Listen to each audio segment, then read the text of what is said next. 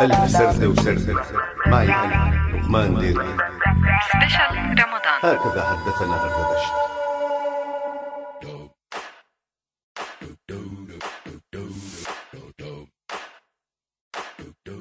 دخن عليها تنجلي.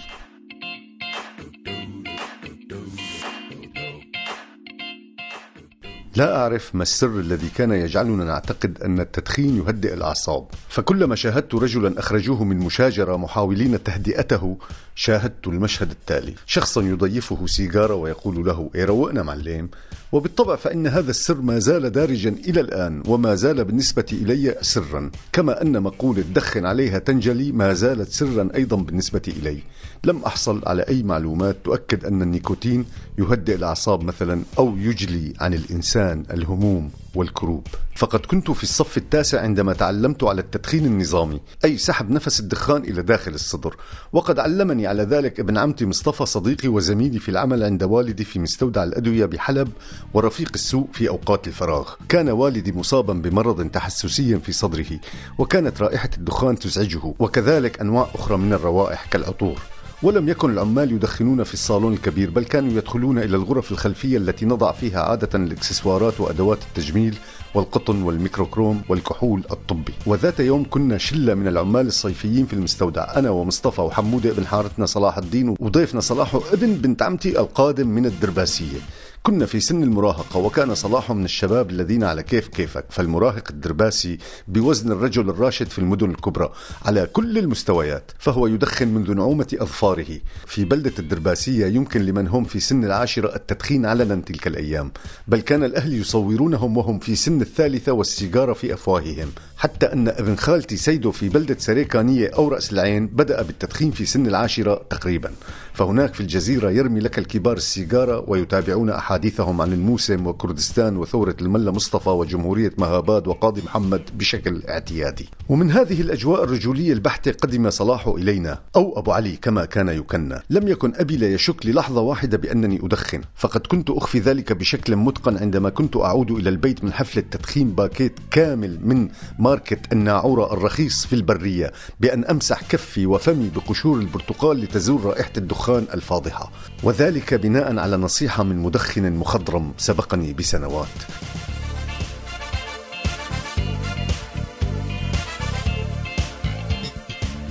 وحدث وأننا كنا جالسين في غرفة الإكسسوارات وأدوات التجميل نستريح من عناء العمل ونشرب الشاي وندخن. نعم ندخن يا أبو شريك. مصطفى وأنا وحمودة وصلاح. صلاح كان أصغرنا يقف أمام باب الغرفة كحارس متقدم بينما كان حمودة يقف بجانبه كحارس ثان يتناوب معه على ذلك. في حين كنا نحن المعلمين يعني أبو سطيف وأنا ندخن ونشرب الشاي باسترخاء كامل نظرا لأن ظهورنا محمية بشكل ممتاز. وكنت أردد مقولة سمعتها وهي الدنيا بلا شراب خراب. ولا أعرف لماذا كانوا يشملون التدخين ضمن الشراب حتى أننا كنا نقول عن المدخن أنه بيشرب سيجارات وفي عز شربنا للسيجارات دخل والدي دون أن يلمحه الحارس الأول أبو علي أو صلاحه وكانت السيجارة تلتمع في يده عندما جاءه كف مثل فراء الوالدين من يد والدي المباركة. تحطم كبرياء أبو علي لكنه ما كان ليجرؤ على الرد على خاله العصبي أو والدي. وفي اللحظة التي خلع فيها صلاح الكف كان حمودة يحاول التخلص من سيجارته لكن هيهات. فالكف الذي من نوع سبق السيف العذل الشهير كان قد دهم وجهه ببراعة لا متناهية.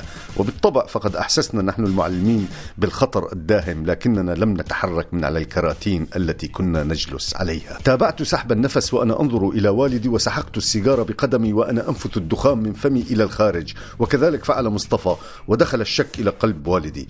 هل كنت أدخن؟ أم لا؟ كانت الصفعتان اللتان قد كالهما لصلاح وحمود قد أنهيتا مرحلة الضرب العشوائي عنده لذلك لم يضربنا أنا والصيف بل اقتادنا جميعا إلى الصالون حتى يتأكد تماما أننا كنا ندخن. وبدأ التحقيق. وكنا واثقين بأن صلاح لن يشي بنا فهو من الدرباسية وفتيان الدرباسية رجال قبل الأوان. التهمة كانت مثبتة على مصطفى من قبل هذه اللحظة لكنها لم تكن لتحوم حولي ولو مجرد حومان. كنت بريئا منها وبعيدا عنها. مع أنني كنت أسرق باكيتات الكنت من أمي في الشهر أكثر من خمس مرات. هذا عدا سرقة السجائر الفرط من باكيتاتها يوميا إلا أن دخان لحظات الثراء كان السيجار الأكثر مبيعا في العالم. مارلبورو. أو تعال إلى حيث النكهة. تعال إلى وينستون. وبالتأكيد فقد مررت بتجربة الحمراء القصيرة والشرق وغرناطة والناعورة والفرات. المهم إن التحقيق بدأ. يا صلاح هل كان لقمان يدخن؟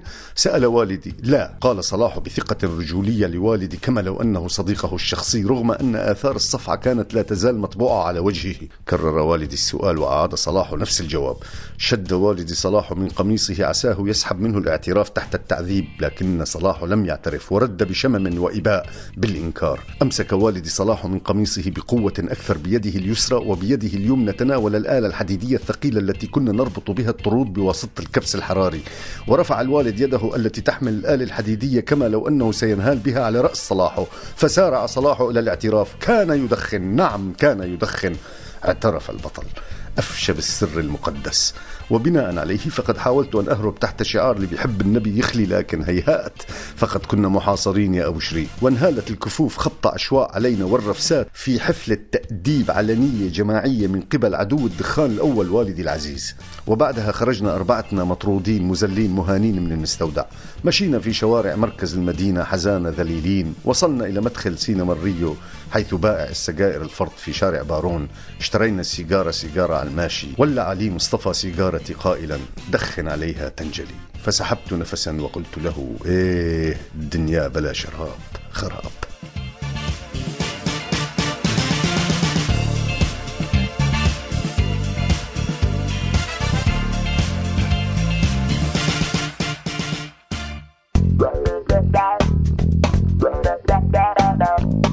هكذا حدثنا دمشق كل عام وأنتم بخير.